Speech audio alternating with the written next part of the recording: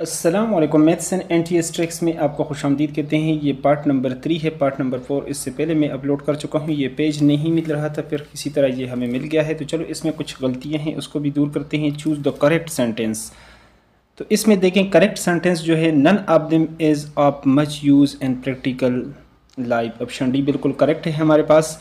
Our network has not been working since Friday देखें sense और फार। मुकर वक्त के लिए सेंस लगता है और मुद्दत के लिए फार होता है तो ऑप्शन ए हमारे पास इस तरह इसमें करेक्ट है।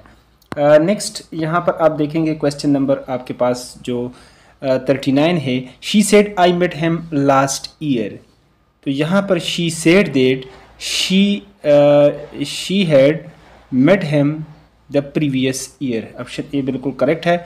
नेक्स्ट क्वेश्चन नंबर फोर्टी है। There is a river dash the two cities देखें, दरमियान में दो चीज़ों के दरमियान में, दो शहरों के दरमियान हम बिटवीन लगाते हैं, किसी भी दो, और दो से ज़्यादा हो तो फिर अमंग लगाते हैं। यहाँ पर क्वेश्चन नंबर आप देख सकते हैं फोर्टी वन में नमाज़ कौन सी हालत में माव है? तो किसी हालत में माव नहीं है, सफ़र में भी आपने पढ़ना है, बीमारी में भी। बैठ के, लेट के, हर तरीके से आपने इसको पढ़ना है। कुरान मजीद के एक हर की जो है, तिलावत पर कितनी है? तो ये दस ने किया जन्नत में सबसे बदतरीन अजाब मुनाफिक को होगा सबसे निचले यानी गड़े में होगा ऑप्शन डी अबू का हज़रत वसल्लम से क्या रिश्ता था तो ये चचा थे नेक्स्ट क्वेश्चंस की तरफ़ चलते हैं।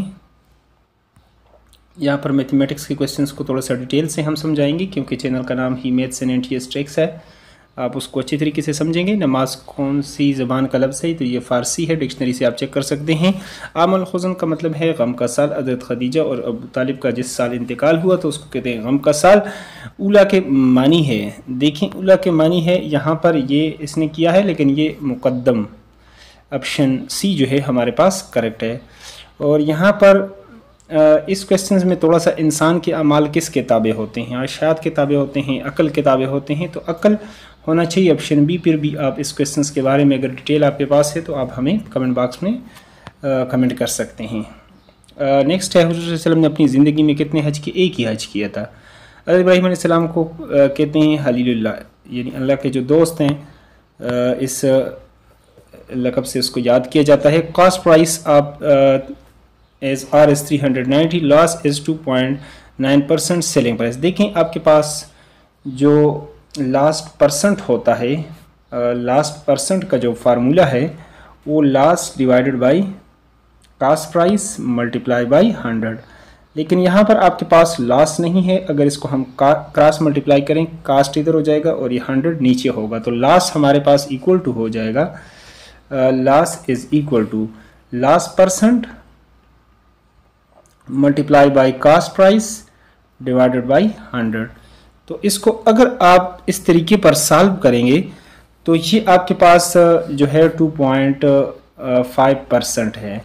तो परसेंट का मतलब है नीचे आप सौ करेंगे, लेकिन इस पॉइंट को ख़त्म करेंगे तो दस करेंगे तो उस तरह एक हज़ार हो जाएगा। ज़रब आप यहाँ पर जो आपने किया थ्री हंड्रेड नाइन्टी इसके साथ ये जाकर मल्टीप्लाई होता है। एक ज़ीरो इसके साथ कैंसिल होगा।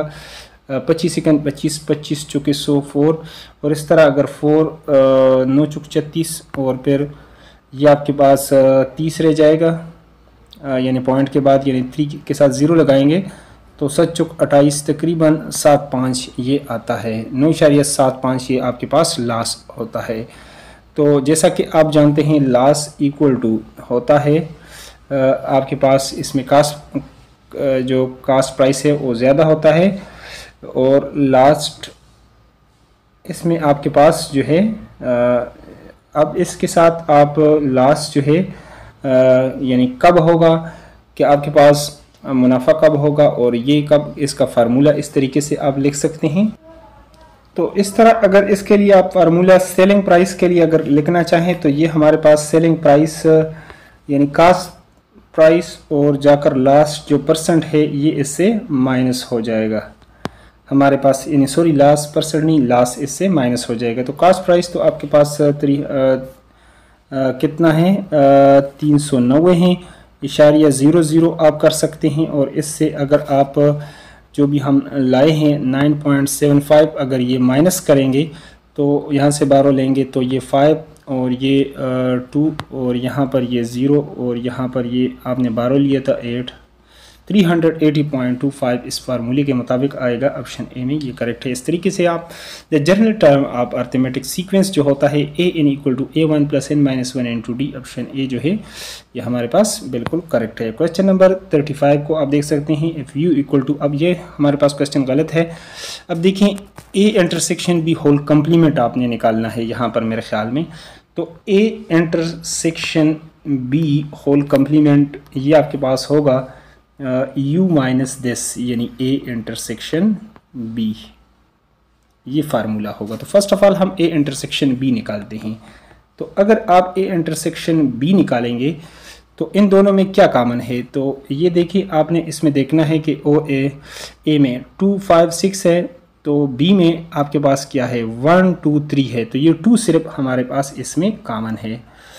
तो अब u से ये टू निकाल ले तो आपके पास सोल्यूशन क्योंकि ये a A intersection B whole complement आपके पास होगा equal to U minus this यानी A intersection B A intersection B तो सिर्फ़ टू के इक्वल आया है तो u में से अगर आप टू कैंसिल कर लेते हैं तो one three four five six ये ऑप्शन बी में आपके पास जो आंसर है, ये बिल्कुल करेक्ट है, न कि ए ए हमारे पास इसमें क्रास है।